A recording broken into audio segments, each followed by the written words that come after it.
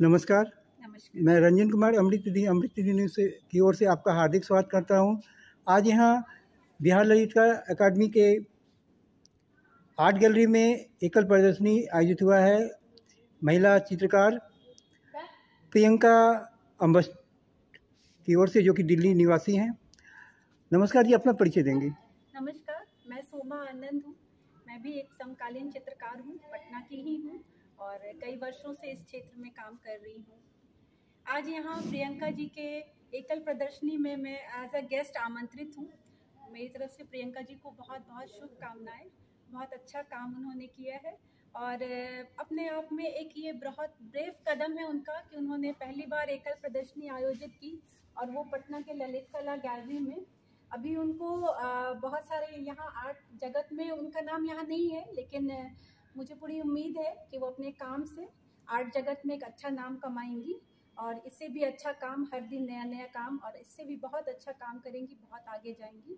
सबसे खुशी की बात है आज कला जगत में उनकी एंट्री हो गई। जी जी जी जी बिल्कुल। आज उनके लिए बहुत ही खास दिन है कला जगत में आज उनकी एंट्री हुई है। और मुझे बहुत अच्छा फील हो रहा है कि उन्होंने मतलब कभी मेरी उनसे बात हुई होगी सोशल मीडिया पे हम एक दूसरे को जानते थे कभी उनसे बात हुई होगी मैं शायद भूल भी गई थी मैं उनसे क्या बात की थी पर उन्होंने कहा कि वो मेरी बातों से बहुत प्रभावित हुई और उसी से प्रभावित होकर उन्हें ये ख्याल आया कि उन्हें भी एकल प्रदर्शनी अपनी आयोजित करनी है।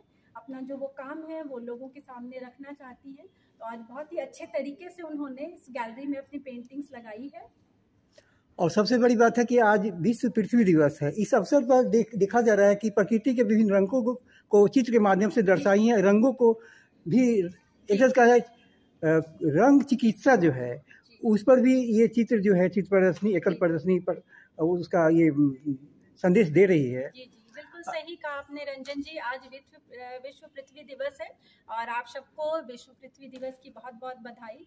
और रंग अपने आप में एक हीलिंग पावर रंग में होता है और इस एग्जीबिशन का भी नाम है हीलिंग कलर्स ऑफ़ हीलिंग तो अपने रंगों के माध्यम से उन्होंने आज प्रकृति दिवस पे भी एक अर्थ दिवस पे भी एक प्रकृति के नाम एक संदेश दिया है कि ये जो रंग होते हैं वो बहुत सुकून पहुंचाते हैं। आज के भागम भाग वाली ज़िंदगी में ये सुकून भरे रंग जो उन्होंने अपने पैलेट पे लिए हैं वो बहुत खूबसूरती से उन्होंने उकेरा है। विश्व पृथ्वी दिवस के अवसर पर आपका क्या संदेश है?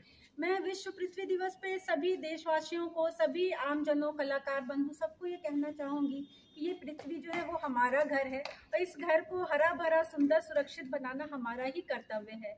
तो मैं ये नहीं कहूँगी कि हमें बहुत बड़े बड़े कदम उठाने ये कर देना है जंगल बनाना है खेती करनी है नहीं। हम अपने छोटे छोटे कदमों से ही इधर उधर कचरा ना फैलाएँ, खासकर प्लास्टिक और ई वेस्ट आज घर घर में मोबाइल है, उसके चार्जर्स हैं, बैटरीज हैं तो ये जो ई वेस्ट जो हम क्रिएट करते हैं ना, उससे अच्छे से हम उसको ऐसे करें कि वो रिसाइकल्ड हो, अपसाइकल हो या वो इधर उधर ना जाए लैंडफिल्स ना बने और जो भी पेड़ पौधे हम लगाएँ, कहीं भी लगाएँ, गमले में लगाएँ या बगीचे में या कहीं किसी जगह पे तो उसकी थोड़ी देखभाल भी करें। उसमें नियमित रूप से पानी खाद दें ताकि वो पेड़ एक्चुअली छोटे पौधे वृक्ष बन जाएँ क्योंकि तो सिर्फ़ लगा के छोड़ देने से काम नहीं चलेगा, वो मुरझा जाएँगे, मर जाएँगे।